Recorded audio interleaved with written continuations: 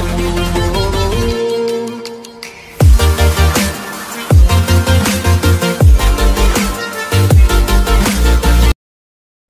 Hello friends welcome back to my YouTube channel friends अगर inverter model air condition तो वहाँ पे are चार सौ दस ए रेफ्रिजरेटर तब आप उसको कैसे चार्ज कर सकते हैं या कैसे उसमें फिलअप कर सकते हैं?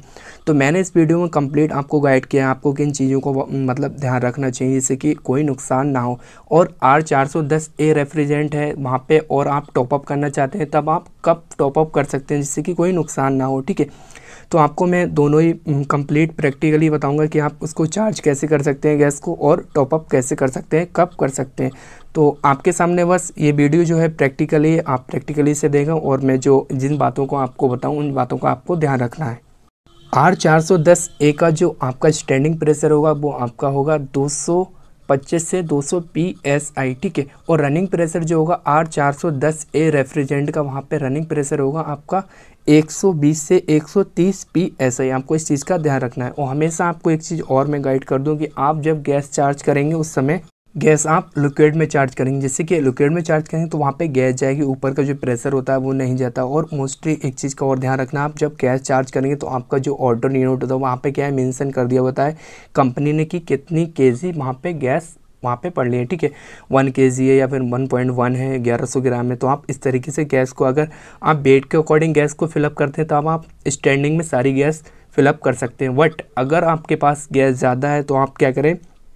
स्लोली स्लोली गैस को चार्ज करें, ठीक है? हल्के हल्के गैस को जब चार्ज करेंगे तो इससे क्या होगा आप अगर एकदम गैस को ओपन कर देते तो वहाँ पे क्या होता है, गैस बहुत ज़्यादा चली जाती है क्योंकि लिक्विड में चार्ज होती है तो इस वजह से गैस बहुत ज़्यादा चली जाती है। फिर वहाँ पर क्या होता है, जब आप रनिंग में जो सिस्टम होता है उसको आप ऑन करते हैं ए को ऑन करते हैं, उसके बाद जब रनिंग में प्रेशर आता है तो उसका रनिंग प्रेशर बहुत ज़्यादा चला जाता है, उसका हेड प्रेशर बहुत ज़्यादा बढ़ जाता है। इससे क्या होता है, आपका जो कंप्रेसर होता है वो ट्रिप होकर बंद हो जाता है और इससे नुकसान भी हो सकता है। तो आपको क्या है, गैस चार्ज जो करेंगे, बहुत स्लोली स्लोली करेंगे, जिससे गैस वहाँ पे ज़्यादा ना पहुँचे। इस चीज़ का आपको ध्यान रखना है। गैस आपको हल्के हल्के चार्ज तो आप कहीं भी साइट पे जा रहे हैं तो वहाँ पे सबसे पहले आपको चेकआउट करना है कि इसमें रेफ्रिजरेंट कौन सी है, ठीक है? तो वहाँ पे क्या है, कंपनी एक स्टिकर देती है, वहाँ पे मेंशन करके देती है कि इसमें जो गैस है वो आर चार सौ दस है या फिर आर बत्तीस ए रेफ्रिजरेंट है या फिर आर बाईस रेफ्रिजरेंट है।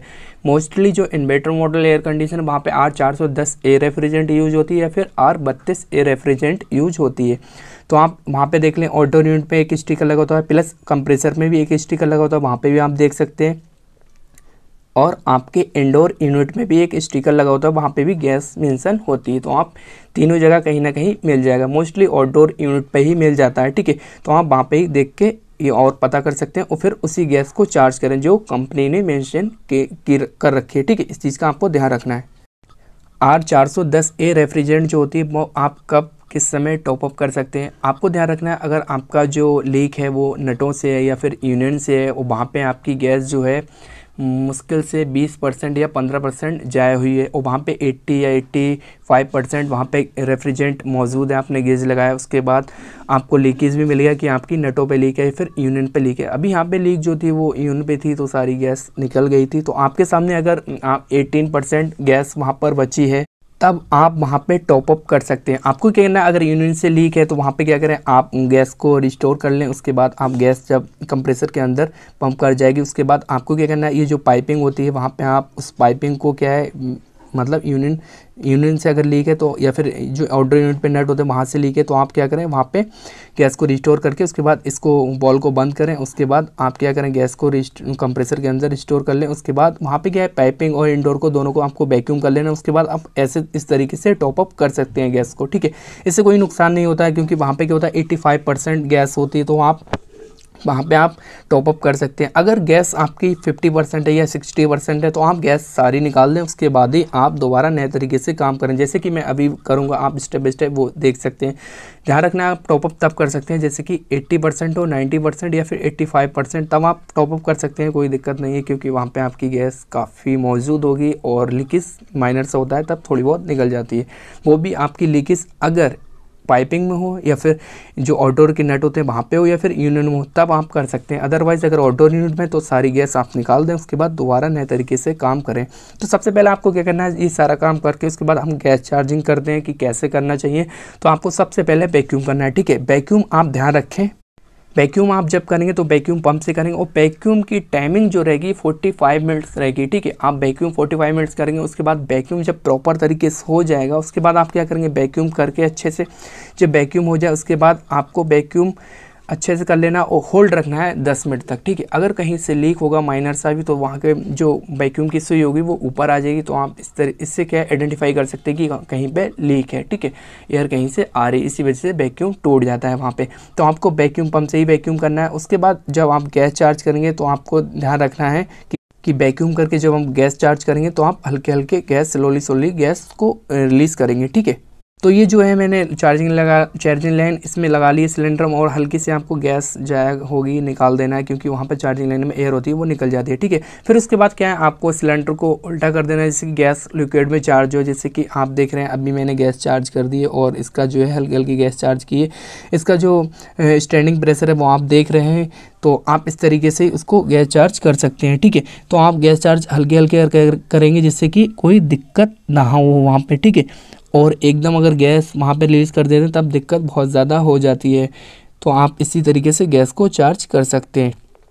तो आप हल्के हल्के स्लोली स्लोली गैस चार्ज करें, जिससे कि गैस एकदम ज़्यादा ना पहुँचे। और वैक्यूम का खास तौर से ध्यान रखना है वैक्यूम बहुत अच्छे से कर लेना क्योंकि वैक्यूम करते हैं तो वहाँ पे क्या होता है, आपका जो वैक्यूम हो जाएगा तो ज़ाहिर सी बात है, आपका अच्छे से कूलिंग करेगा। तो अभी आप देख रहे हैं जो इसका स्टैंडिंग प्रेशर है, वो इतना हो गया है और आप मतलब इसी तरीके से इसको हल्के हल्के चलाएँ। उसके बाद क्या है, आप एसी को जो है ऑन कराएँ, जिससे कि आपको पता लग जाए। एक चीज़ का ध्यान रखना है, आपको किलोमीटर भी लगा लेना है, जिससे कि एम्पेयर सारे सो हो जाएँ आपके सामने, ठीक?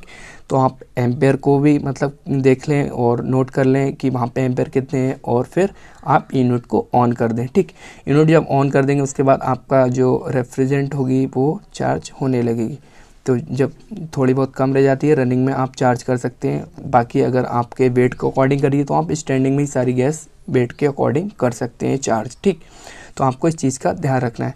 तो अभी यहाँ पे क्या है, मैंने मतलब एम्पेयर आप देख रहे हैं एम्पेयर भी सो रहा है। और बाकी यहाँ पे जो रनिंग प्रेशर है, वो बैग आ रहा है और रनिंग प्रेशर आपके सामने में दिखाऊँगा कि कितना है। तो अभी आप देख रहे हैं रनिंग प्रेशर जो है वो लगभग हंड्रेड तक हो गया है और बाकी आप एम्पेयर देख रहे हैं एम्पेयर भी यहाँ पे लगभग 2.5 है और ऑर्डर यूनिट अभी स्टार्ट हुआ है जस्ट तो अभी एम्पेयर भी आहिस्ता आहिस्ता बढ़ जाएँगे इसके, ठीक है? तो आप देख रहे हैं जो रनिंग प्रेशर है, मैं हल्की सी गैस को रिलीज़ कर रहा हूँ, जिससे कि इसका जो रनिंग प्रेशर है, वो 115 पीएसआई 120 पीएसआई हो जाए, ठीक है? वैसे रनिंग प्रेशर जो रहना चाहिए आर चार सौ दस ए रेफ्रिजरेंट का, वो 120 से 130 पीएसआई होना चाहिए। तो आप इस तरीके से गैस को चार्ज कर सकते हैं, कोई नुकसान नहीं हुआ, कोई मतलब प्रॉब्लम क्रिएट नहीं होगा कूलिंग भी अच्छी होगी। अगर ये सारी स्टेप बाय स्टेप मतलब जो फॉलो करेंगे आप, ये सारी चीज़ें तो आप इस तरीके से कोई दिक्कत नहीं होगी। तो अभी आप देख रहे हैं, हमें आहिस्ता आहिस्ता गैस को चार्ज करनी और आप एम्पेयर की तरफ़ भी मतलब नज़र रखें जिसकी एम्पेयर ज़्यादा ना हो, ठीक है? तो यहाँ पर जो है रनिंग प्रेशर इसका अब मैं फिर से दिखाता हूँ आपको कि रनिंग प्रेशर कितना हो गया है यहाँ पर। तो आप देख रहे हैं अभी रनिंग प्रेशर हंड्रेड प्लस हो गया है यहाँ पर।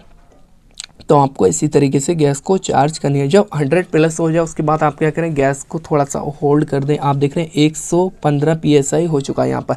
तो आपको क्या करना है, इस चीज़ का ध्यान रखना है। और बाकी इसकी जो देख रहे हैं आप सक्सन वाली जो लाइन है, वहाँ पर नमी आना स्टार्ट हो गई, यानी चिल्डपना स्टार्ट हो गया। आप जब 100 पी एस आई कर दें, उसके बाद गैस को चार्ज ना करें, होल्ड रखें थोड़ा, जिससे कि क्योंकि गैस होती है तो हल्के हल्के वो सर्कुलेट कर दिए, उसके बाद रनिंग प्रेशर अपने आप ही बढ़ जाता है थोड़ा बहुत, ठीक है? तो आप इस चीज़ का ध्यान रखें। तो फ्रेंड्स, आप इसी तरीके से गैस को चार्ज कर सकते हैं। तो फ्रेंड्स, ये कंप्लीट वीडियो आपको कैसी लगी? अगर अच्छी लगी, वीडियो को लाइक कर दो, चैनल पर न्यूज़ दिख गया चैनल को सब्सक्राइब कर दो। और फ्रेंड्स, एक वीडियो मैंने अपलोड किया वीडियो लिस्ट में जाके देख सकते हैं कि कंप्रेसर ब्लास्ट क्यों होता है। तो आप वीडियो लिस्ट में जाके देख लें और आपको बहुत सारी इन्फॉर्मेशन मिल जाएगी, आपको सेफ्टी पर्पज़ से काम करने का तरीका मिल जाएगी, हमको काम कैसे करना चाहिए। तो आप वो वीडियो लिस्ट में जाके उस वीडियो को ज़रूर देख लें, आपके लिए बहुत ज़्यादा यूजफुल रहेगी वो वीडियो। तो फ्रेंड्स, सब्सक्राइब कर लें, ध्यान से सब्सक्राइब ज़रूर कर लें और वीडियो को लाइक कर दें। अगर आपका कोई पर्सनली फ्रेंड है, उसको शेयर ज़रूर करें। Thank you for watching